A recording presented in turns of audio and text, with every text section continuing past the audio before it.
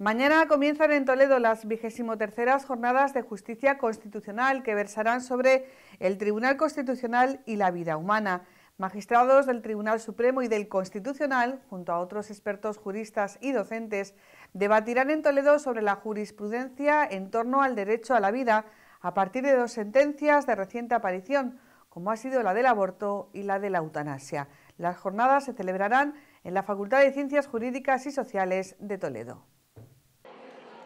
Desde mañana martes y hasta el próximo jueves 9 de noviembre, la Facultad de Ciencias Jurídicas y Sociales de la Universidad de Castilla-La Mancha acoge las jornadas de justicia constitucional que cumplen ya su vigésimo tercera edición. Unas jornadas que tienen como objetivo debatir y reflexionar en torno a la jurisprudencia de los tribunales y su relación con los derechos recogidos en la Constitución. En esta ocasión se centrarán en la jurisprudencia relacionada con el derecho a la vida. Pues la idea siempre es centrarnos en problemas o temas actuales de la justicia constitucional, ya sea del Tribunal Constitucional Español o en un sentido más amplio, pues de la justicia constitucional en el mundo. Llevamos en efecto 23 años abordando este tipo de problemáticas y entonces este año hemos pensado que uno de los temas más actuales tiene que ver con la jurisprudencia sobre el derecho a la vida.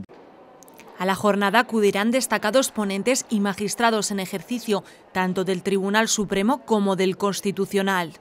Contamos con magistrados del Tribunal Supremo como el profesor Eduardo Espintemplado y magistrados del Tribunal Constitucional actualmente en el Tribunal Constitucional como Enrique Arnaldo y Juan Carlos Campo. Luego también eh, contaremos con otros profesores de la universidad, expertos en el tema como la profesora eh, Pilar Molero, que hizo su tesis eh, en referencia al derecho a la eutanasia y bueno, pues con otros profesores que también nos contarán un poco lo que es el contexto y la dinámica del Tribunal Constitucional de manera general, pero sobre todo incidiendo en el derecho a la vida y sus límites.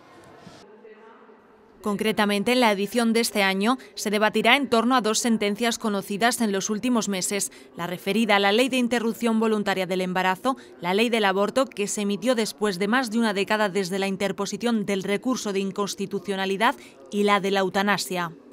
sino toda la jurisprudencia del Tribunal Constitucional sobre el derecho a la vida, porque también hay que decir que estas sentencias se apartan de precedentes jurisprudenciales y buscamos pues un análisis global de esta problemática que nos parece desde luego muy atractiva, muy presente en nuestra sociedad, eh, no exenta de, de polémica y lo que buscamos pues es que los cursantes escuchen distintas opiniones y se formen la suya propia, ¿no? que es lo que siempre buscamos desde el área de Derecho Constitucional.